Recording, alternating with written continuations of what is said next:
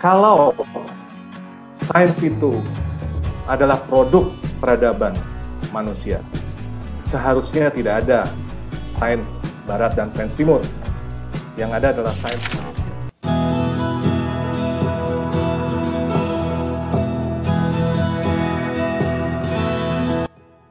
Uh, saudara-saudara sekalian, semoga bisa mendengar suara saya. Saya harus ngecek karena kondisinya seperti ini. Uh, topik yang akan kita bahas adalah topik yang sangat menarik dan sangat relevan untuk uh, konferensi kita. Saya sangat berterima kasih dan merasa dihormati di dalam konferensi ini oleh panitia yang sudah sangat lama untuk uh, menunggu-nunggu uh, kesanggupan saya untuk mengisi di dalam uh, sesi konferensi. Semoga apa yang saya berikan pada hari ini bisa membantu untuk pemikiran kita selanjutnya.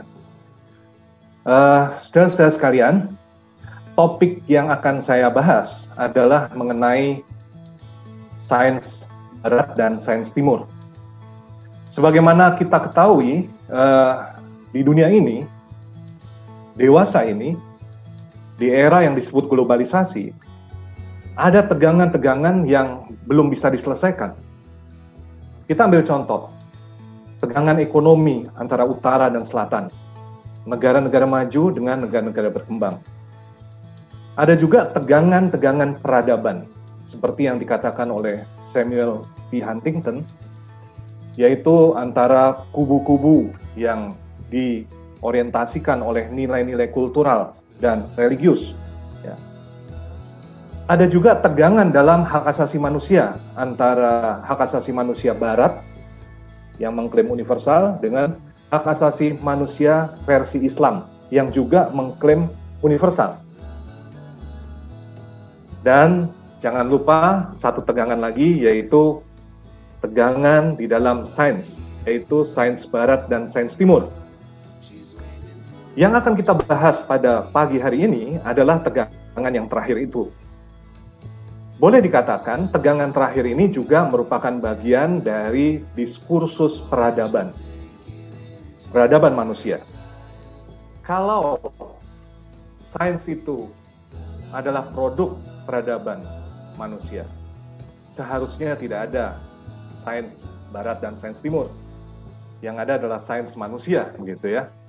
Tapi adalah suatu fakta bahwa sampai hari ini tegangan itu masih ada. Misalnya, sains barat yang berkembang luas sampai ke masyarakat kita juga dalam sistem pendidikan, penelitian. Ambil contoh dalam penanganan COVID-19 sekarang itu epidemiologi, biologi, kedokteran ya, itu adalah sains barat. Dan sains timur apa namanya kebijaksanaan-kebijaksanaan yang ada di uh, Kalimantan misalnya di suku-suku Dayak mengenai bagaimana uh, memanfaatkan herbal, memanfaatkan uh, pohon-pohon dan buah-buahan yang ada di uh, hutan ya. Nah, itu semua adalah hal-hal yang saat-saat ini menjadi marginal dan disebut sebagai sains timur. Nah, topik saya adalah mengenai hal itu. Ada suatu upaya dewasa ini untuk mencoba agar sains timur itu kategori besar masuk dalam diskursus sains sehingga bisa uh, menempati kedudukan yang sama kurang lebih sama dengan sains barat kira-kira begitu. Nah, Uh, izinkan saya untuk uh, berbagi uh, slide supaya uh, secara visual Anda juga bisa uh, mengikuti uh, pemaparan saya.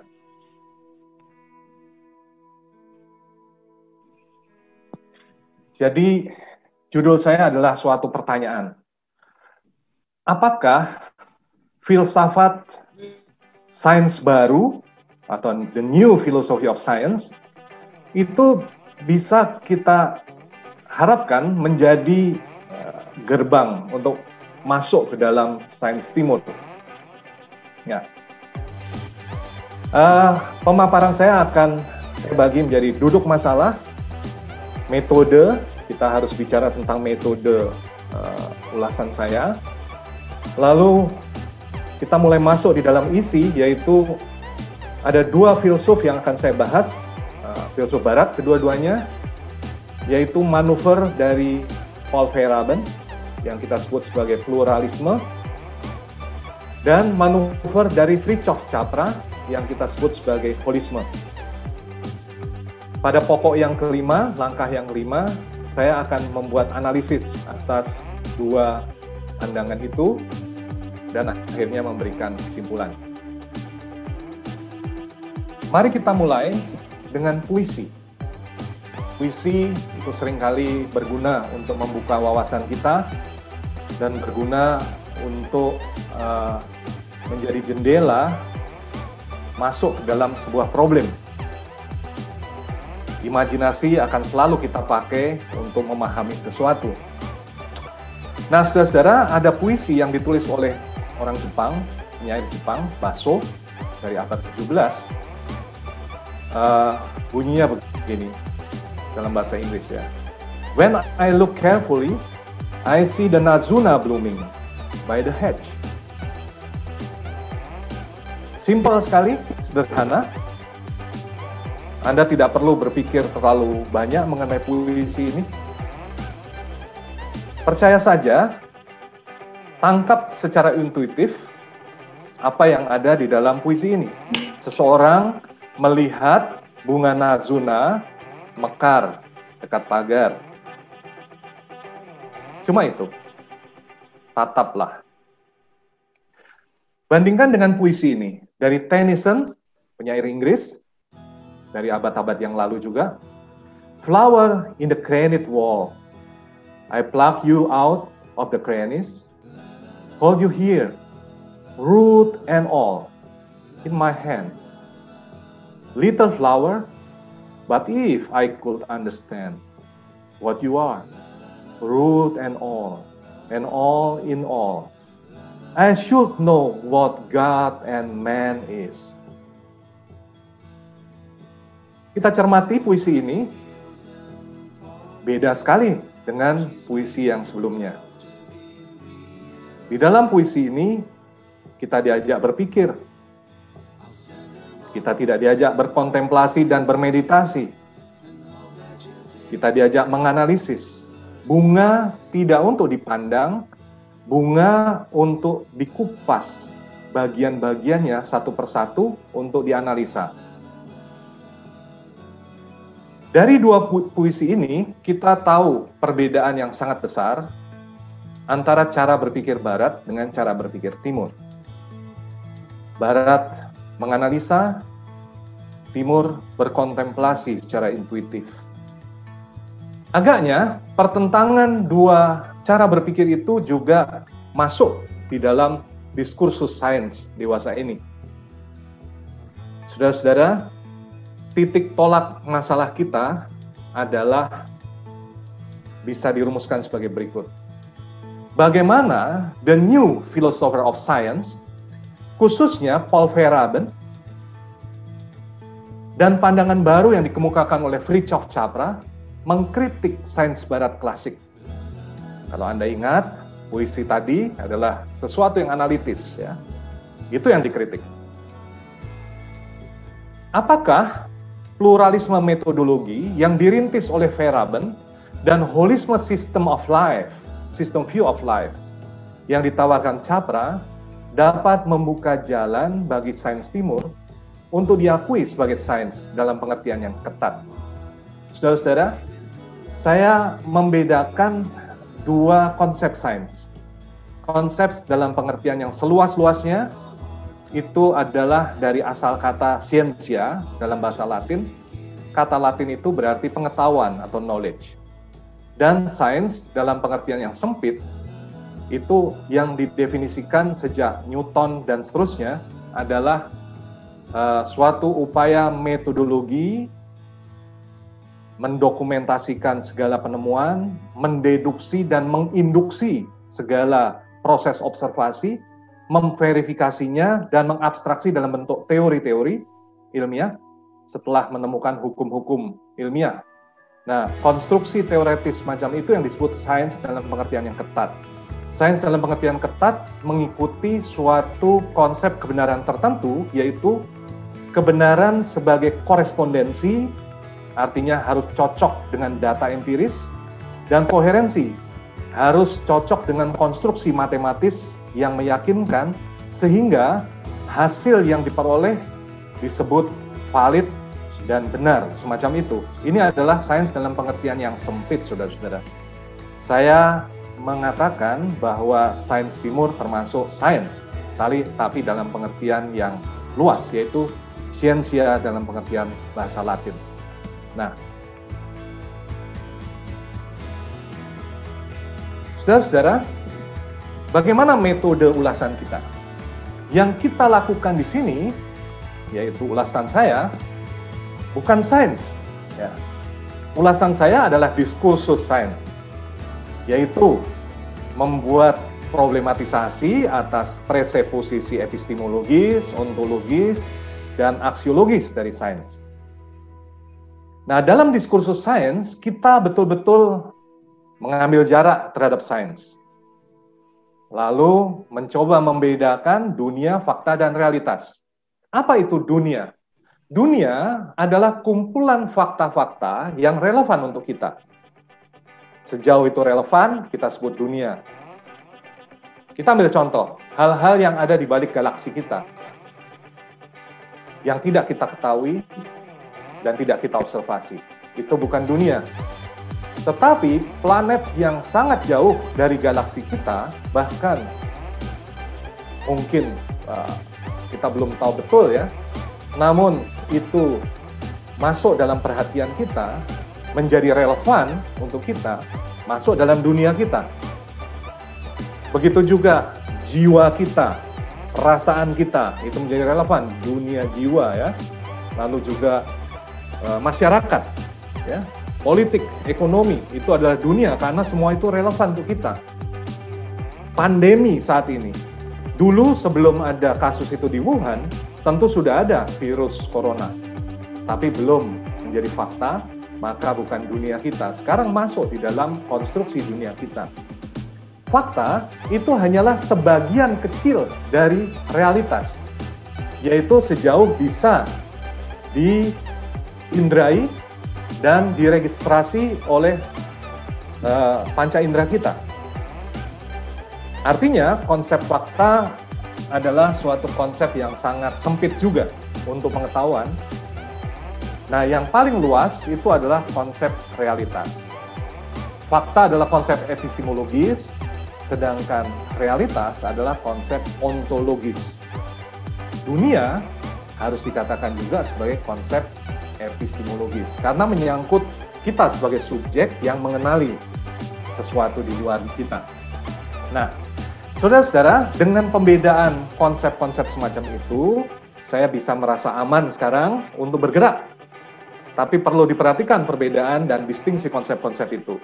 Kalau tidak, nanti kita tersesat masuk ke dalam ulasan saya. Nah, saya akan mengatakan bahwa pluralisme dan holisme yang kita bicarakan saat ini itu adalah konsep dunia, bukan fakta. Jadi inilah yang disebut wawasan dunia atau worldview atau Weltanschauung dalam bahasa Jerman atau Thomas Kuhn seorang filsuf ilmu kontemporer menyebutnya paradigm atau paradigma.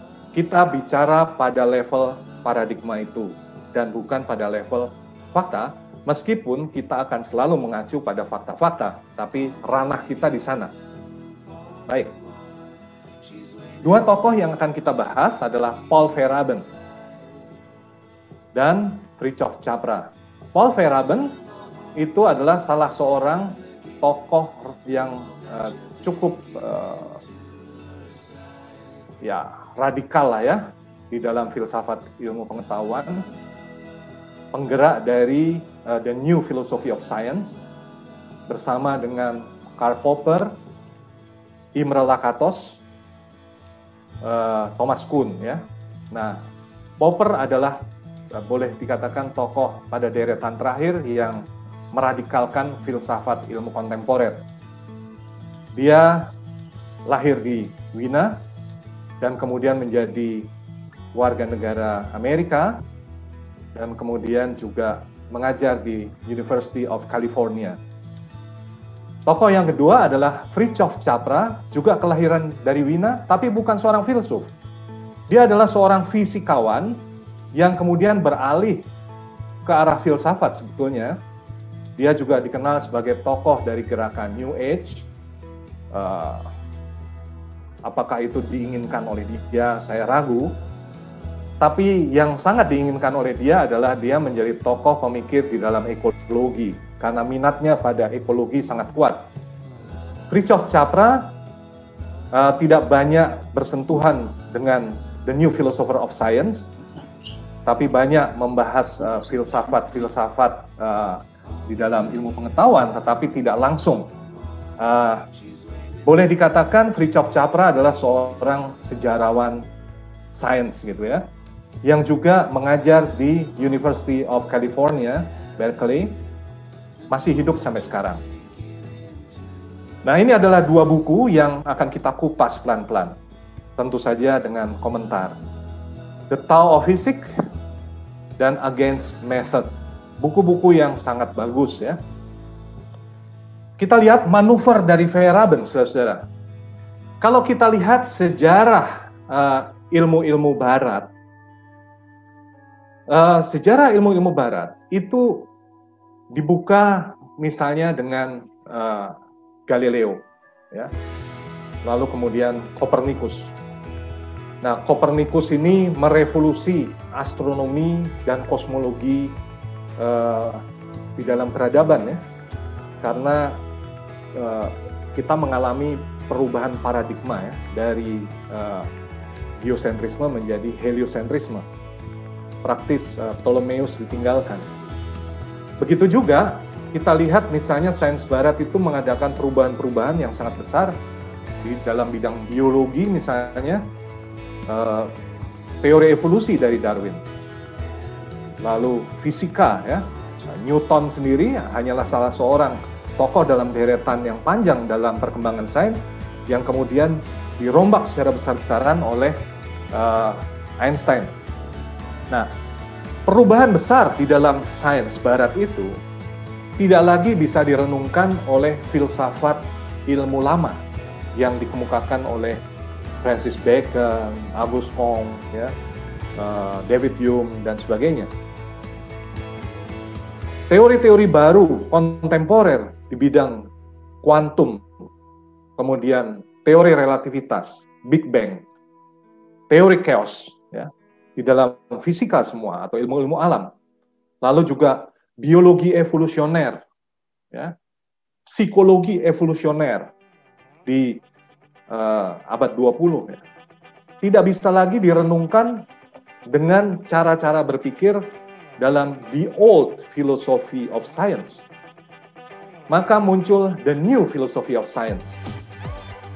Saudara-saudara, orang-orang yang terlibat di sini tentu saja uh, banyak dikenal di dalam literatur ya. Kita ambil contoh titik tolak dari perombakan besar ini adalah suatu ambisi dari ilmu-ilmu barat itu sendiri yang diwakili oleh lingkungan Wina di abad 20.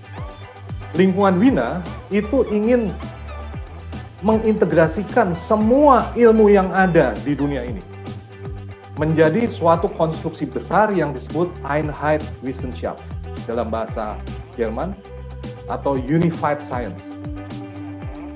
Intinya ingin mengatakan begini, kalau kita lihat fisika, kimia, biologi, ya, sosiologi, ekonomi, ya, uh, antropologi, dan seterusnya, itu adalah ilmu-ilmu yang bicara dalam bahasanya masing-masing, dengan metodenya masing-masing. Adalah tugas lingkungan Wina, menurut Victor Kraft ya, adalah penggagasnya, untuk menyatukan semua bahasa itu menjadi satu bahasa, menjadi satu metode. Dan metode yang satu itu adalah metode fisika dan matematika. Jadi kalau bisa ya ekonomi itu matematis, psikologi matematis, sosiologi fisikalis gitu ya.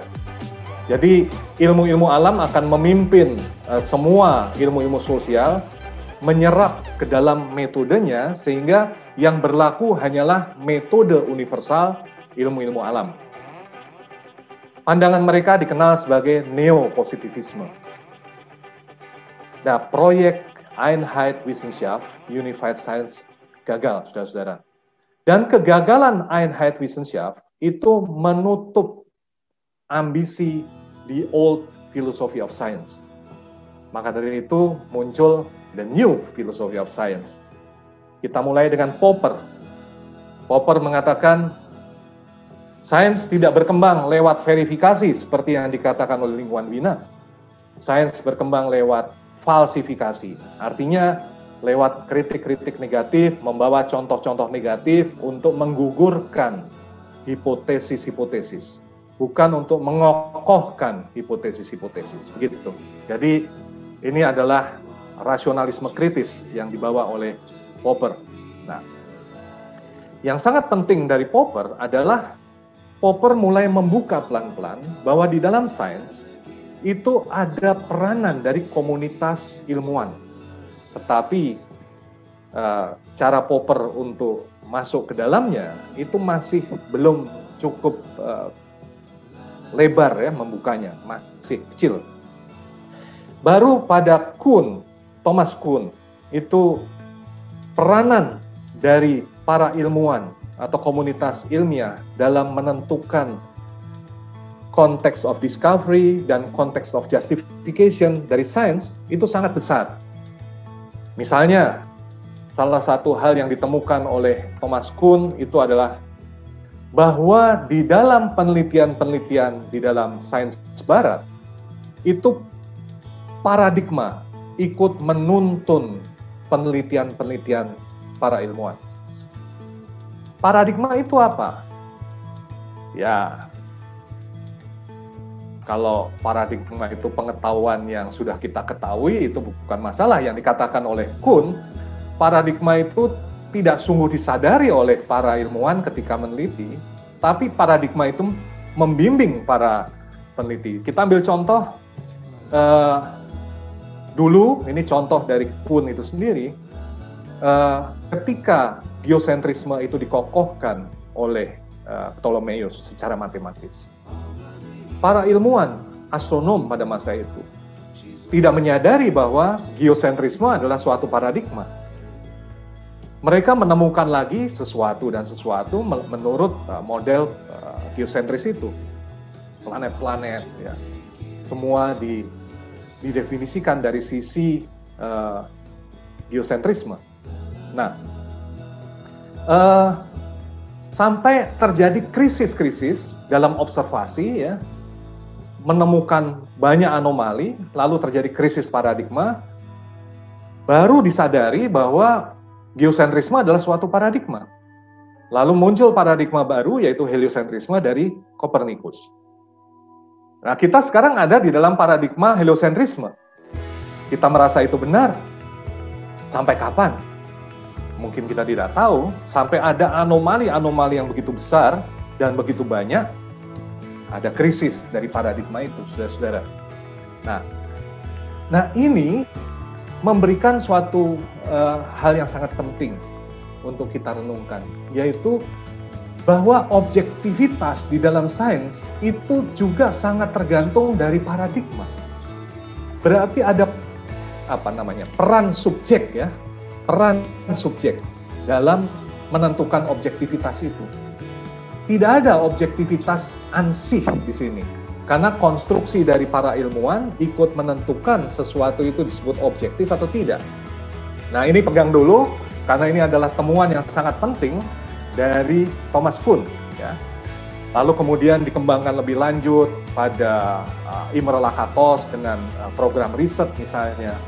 Tapi oke, okay, Imre Lakatos pun juga berpendapat yang sama, yaitu komunitas ilmuwan ikut menentukan konstruksi pengetahuan di dalam sains sehingga disebut objektif. Nah, saudara-saudara, baru pada Feyerabend menjadi jelas bahwa peranan itu sangat besar, peran subjek itu. Ya. Nah, Feyerabend itu mengatakan bahwa kemajuan sains itu terjadi lewat pelanggaran-pelanggaran. Dan satu-satunya asas yang tetap di dalam sains itu adalah anything goes. Maka dia sebut sebagai uh, anarkisme ya. Jadi konsekuensinya apa? Tidak ada metode tunggal di dalam sains menurut dia. Yang ada adalah pluralisme metode. Kita sedang bicara ilmu alam, bukan ilmu sosial. Jadi uh, Feyerabend mengacu pada ilmu alam di sini. Tidak ada metode tunggal yang ada dalam bayangan Feyerabend misalnya sains uh, Newton dengan sains uh, Einstein itu metodenya beda gitu ya. Nah, Darwin dengan sebelumnya metodenya beda. Nah, lalu yang kedua adanya incommensurability di antara tradisi-tradisi. Berarti komensura itu adalah ukuran yang sama. Incommensurability berarti tidak ada ukuran yang sama kriterianya beda-beda. Setiap tradisi punya bahasa yang berbeda, eh, nilai-nilai yang berbeda, kriteria yang berbeda, tidak bisa dibandingkan satu sama lain karena sama sekali berbeda, kira-kira. Nah, kalau Veraben bicara tradisi, yang dimaksud tradisi dalam ilmu alam, misalnya tradisi Newton, tradisi Hooke, tradisi Mendel, tradisi Darwin, begitu ya. Nah, tetapi konsep tradisi ini bisa kita perluas, misalnya begini. Tradisi sains barat dan tradisi sains timur. Karena Veraben juga bicara, anything goes itu mempunyai implikasi bahwa voodoo, bahkan voodoo pun harus dianggap sebagai sains pribumi. Hanya karena kolonialisme itu dimarginalisasi oleh sains barat, dia bilang. Jadi tuan-tuan penjajah membawa sains barat untuk menyingkirkan perdukunan sebagai superstisi. Nah, maka dari itu menurut Feyerabend harusnya voodoo, shamanisme, akupunktur, uh, astrologi zaman batu bahkan, uh, tarian meminta hujan dari Indian Cherokee misalnya, atau local wisdom di Kalimantan, ya, dan banyak hal lagi.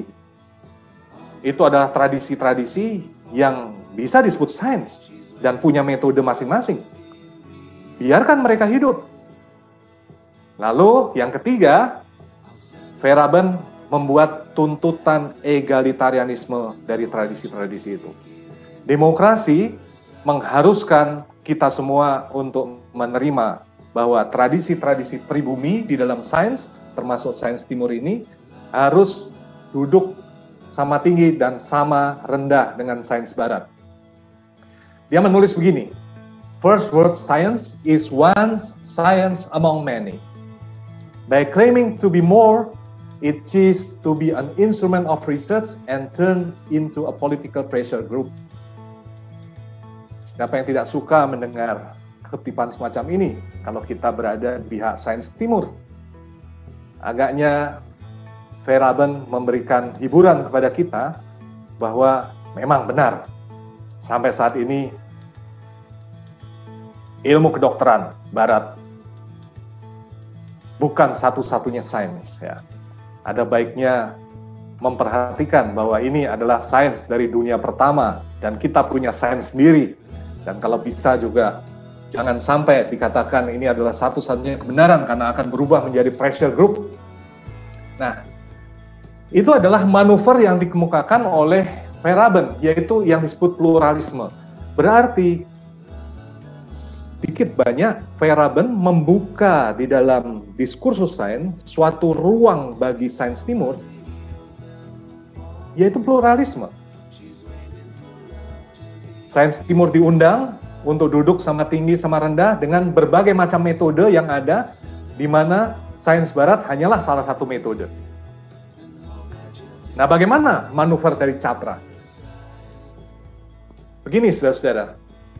Feyerabend itu sangat curiga dengan sains barat. Bahwa sains barat ini ditongkrongi oleh kekuasaan. Diboncengi oleh kekuasaan jadi klaim universalnya, objektivismenya itu tidak lain daripada manifestasi dari kekuasaan.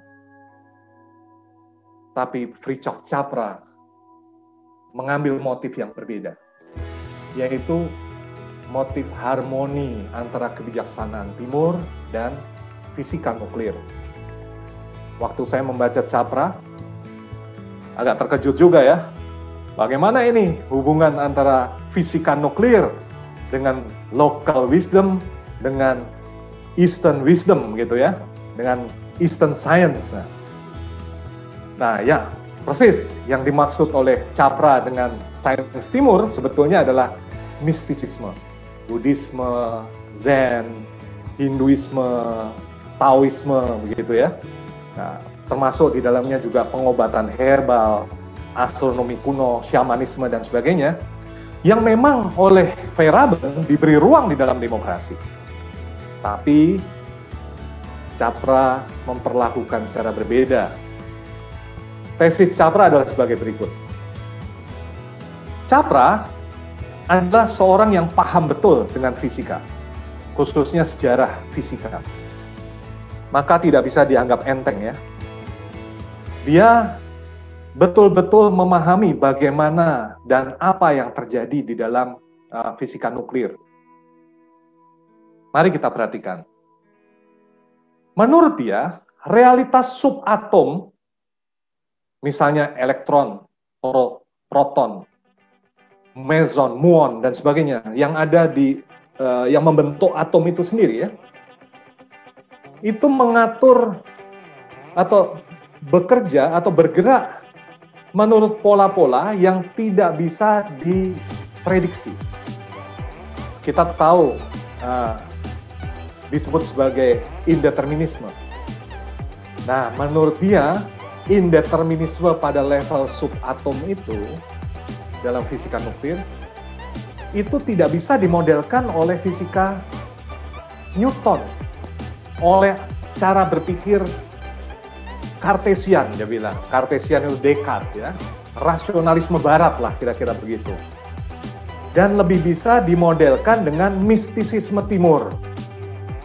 Buddhisme, Hinduisme, Taoisme, Zen gitu ya. Jadi logika barat nggak nyambung. Karena barat terlalu objektivistik. Nah, saudara-saudara, kenapa Capra sampai pada kesimpulan itu? Setelah saya teliti baik-baik, Capra itu memakai strategi dalam menganalisa dalam sejarah fisikanya. Dia membedakan dua tingkat pengalaman, yaitu tingkat pertama adalah pengalaman sehari-hari, itu adalah wilayah empiris, dan tingkat kedua adalah pengalaman yang melampaui keseharian, yaitu wilayah kerja intuisi. Nah, menurut dia, realitas subatomis itu bekerja pada wilayah intuisi, gitu ya, atau dikatakan secara berbeda, Capra menarik kesimpulan-kesimpulan mengenai realitas subatomis dengan intuisi dan bukan dengan argumentasi. Begitu ya. Oke. Saudara-saudara, ini kontroversial bagi metode ilmiah. Asing bagi ilmu-ilmu barat, bahkan bagi metode ilmiah. Karena intuisi tidak dipakai. Yang dipakai adalah argumentasi dan rasionalisasi begitu. Tapi justru itu yang dipakai oleh Capra. Nah, menurut dia setelah memakai intuisinya, ada empat paralelisme antara fisika nuklir dan mistisisme timur. Satu, yaitu bisa menyingkap kesatuan segala sesuatu dan peristiwa-peristiwa. Yang dimaksud adalah kalau kita melihat dunia subatomis itu bagian-bagian tidak bisa dilepaskan dari keseluruhan. Maka kita tarik pelajaran secara luas bahwa kita semua hidup dalam realitas yang saling berinteraksi satu sama lain. Kita adalah bagian dari suatu keseluruhan. Kita adalah membentuk suatu holon, yaitu individu itu bukan realitas akhir, individu adalah juga sebuah masyarakat yang terdiri dari bagian-bagian. Begitu juga individu itu sendiri ditempatkan pada kosmos, itu hanyalah bagian dari suatu keseluruhan yang holistik, begitu loh. Yang kedua, adanya harmoni dalam oposisi-oposisi. Jadi tidak ada konflik, semuanya harmoni. Pertentangan itu superficial. Sebetulnya realitas yang lebih real adalah keselarasan dari segala sesuatu. Yang ketiga, sampai pada kesadaran si manusia. Kalau lihat penelitian itu sampai pada misalnya uh, realitas subatomis ya, itu kan ada uh, diilustrasikan dengan uh, Schrodinger's cat gitu ya. Nah, di situ ruang dan waktu tidak tegas. Gitu. Teori relativitas juga melihat ruang dan waktu tidak tegas lagi. Nah, Sebetulnya ruang dan waktu hanyalah konstruksi pikiran kita. Nah, itu cocok juga dengan Buddhisme misalnya, Hinduisme. Yang keempat, kosmos dilihat bukan sebagai benda, melainkan sebagai suatu aliran. Herakletian, kira-kira begitu kalau dalam uh, filsafat barat ya. Nah, saudara-saudara, saya mengatakan begini, bahwa pemikiran Capra ini secara filosofis bisa diterima secara filosofis. Namun, lompatan intuitif bukan sikap ilmuwan sebagai ilmuwan. Saya juga heran kenapa Capra uh, sampai berani melompat secara intuitif ya, padahal dia seorang fisikawan ya. Karena seorang ilmuwan itu tidak mengalami realitas subatomis ya, melainkan menghadapi realitas subatomis. Memang harus menganalisa, bukan berkontemplasi seperti yang dilakukan oleh Capra. Nah, di sini Capra memang meninggalkan sedikit banyak uh, wilayah sains ketat ya, masuk ke filsafat. Nah, nah, selama masuk ke filsafat, tangan saya terbuka lebar. Selamat datang ke dunia filsafat. Tetapi dia harus berpisah dengan dunia sains di sana. Nah, lalu dia mulai bicara bahwa ada pergeseran dari mechanical worldview, yaitu yang dibangun oleh Descartes dan Newton ya, sampai pada banyak teori-teori baru ya, misalnya seperti uh, konsep birokrasi dari dari Max Weber, kemudian juga uh, ekonomi dari Adam Smith ya tentang uh, invisible hand itu kan juga produk dari mechanical worldview dari Newton. Itu bergeser ke apa yang disebut system view of life. Nah, saya kutipkan supaya bisa ikut merasakan apa yang dikatakan oleh uh, Capra. Dalam pemikiran atau pergeseran paradigma itu menyangkut sebuah pergeseran dari pemikiran rasional ke pemikiran intuitif, dari intelek ke akal budi, dari analisis ke sintesis, dari yang reduktif ke yang menyeluruh, dari yang linear ke yang moderat. Dalam nilai-nilai itu menyangkut pergeseran yang sesuai dengan itu dari ekspansi ke pemeliharaan, dari kuantitas ke kualitas, dari kompetisi ke kooperasi, dan dari penaklukan ke kebebasan dari kekerasan. Perhatikan dalam kutipan ini, kandungan filosofisnya sangat kuat. Jelas bukan sains. Ini kesimpulan-kesimpulan yang abstrak yang diambil oleh Richard Capra. Nah, bahkan Capra mencocokkan syamanisme dengan teori sistem umum yang berlaku di dalam uh, sains misalnya oleh Umberto Maturana, Ferreira ya, uh, Rick Suluman. Nah, dia mengatakan the universal shamanic view of human being as integrated part of an order system is completely consistent with the modern system view of nature.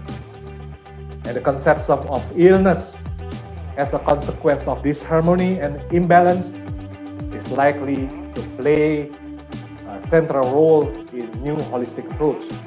Dia yakin betul bahwa ilmu kedokteran modern sekarang itu uh, perlu memperhatikan kembali bahwa penyakit itu bukan sekedar uh, kekurangan fisik atau defisit uh, fisik sesuatu, melainkan terkait dengan jiwa, bahkan terkait dengan kosmologi, terkait dengan harmoni di dalam masyarakat dan seterusnya, maka dia menganalisa bagaimana uh, psikologi itu berkorelasi dengan kosmologi, dengan ekonomi, kemudian dengan kedokteran, seluruhnya ada dalam suatu sistem holistik. Nah, sains timur menurut dia selalu mengandung interkoneksi intensif. Berbagai hal itu belum mengalami materialisasi seperti yang ada di barat. Mohon maaf Pak Hardiman, waktunya tinggal lima menit lagi. Sorry. Baik, ya, saya bisa mempercepat juga. Nah, kita analisa sebentar, saudara-saudara. Masih kelihatan ya? Ya. Jelas bahwa Capra dan uh, Veraban mewakili uh, suatu dua arus besar dalam diskursus sains uh, Barat sekarang.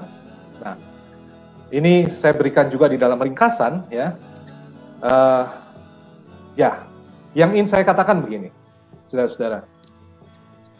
Tentu saja uh, kedua tokoh ini bolehlah bicara mengenai incommensurability atau self-organizing rule ya, boleh ya. Itu menghibur kita juga. Apakah sains dengan uh, pendekatan filosofis mereka uh, itu uh, menjadi terbuka untuk sains timur untuk masuk ke dalamnya? Apakah pintu gerbang dalam diskursus sains itu dibuka lebar, didobrak oleh Capra dan Feyerabend? Nah, itu adalah uh, pertanyaan awal kita. Menurut saya, diskursus sains barat dan sains timur itu tidak lebih maju daripada diskursus HAM yang berhasil menyepakati deklarasi, konvensi, fakta, dan seterusnya. Kenapa? Karena diskursus sains timur dan sains barat juga ya, itu kurang fokus pada diskursus teoretis, melebar ke diskursus praktis, yaitu tentang mengambil makna hikmah dari sains untuk kehidupan, tapi bukan perkara-perkara objektif di dalam sains. Saya ingin mengatakan bahwa sesuatu yang objektif tidak harus objektivistik atau menjadi objektivisme, tapi objektivitas itu ada. Jangan disepelekan begitu saja. Nah, diskursus sains yang dibawa oleh Capra dan juga Veraben terlalu meremehkan hal-hal yang objektif. Kedua, holisme Capra tidak beroperasi di dunia fakta, melainkan pada konstruksi makna yang bersifat normatif, sangat normatif holisme versi siapa? Siapa yang berhak yang menentukan? Lalu juga pluralisme dari Feyerabend tidak bisa dianggap final dalam sejarah. Kita belum tahu di ujung sejarah seperti apa. Jadi kondisi saat ini adalah tegangan dialektis antara pluralisme dan holisme. Saran saya, relasionisme. Kalau bisa, dua-duanya dijembatani, tetapi juga pada level makna bukan pada level fakta. Jadi intinya mereka jangan ribut lah. Dua tegangan itu didekatkan dengan relasionisme. Yang saya maksud dengan relasionisme adalah dua pendapat itu adalah horizon-horizon yang harus dileburkan satu sama lain lewat diskusi sebetulnya. Nah, saudara-saudara, menurut saya sains uh, atau pintu yang dibuka oleh pluralisme dan holisme tidak cukup lebar untuk sains timur. Jika para ilmuwan timur tidak menantang dunia sains barat dengan standar logika dan evidensi yang sama. Hegemoni sains barat tidak dapat diatasi dengan esoterisme atau menciptakan sistem sains yang lain, melainkan tetap fokus pada pencarian evidensi dan dunia objektif. Jadi, kendati pun ada macam-macam tawaran pluralisme dan holisme, ini adalah posisi saya. Pencarian objektivitas akan jalan terus. Nah, konstruksi-konstruksi dan interpretasi makna kadang-kadang bisa mengikuti temuan-temuan sains, tapi juga kadang-kadang bicara lain ya, tapi pencarian objektivitas akan jalan terus. Oleh karena itu, kalau sains timur mau diterima secara universal dan objektif, harus juga mencari dunia objektif dan bukan dunia subjektif. Sekian, terima kasih.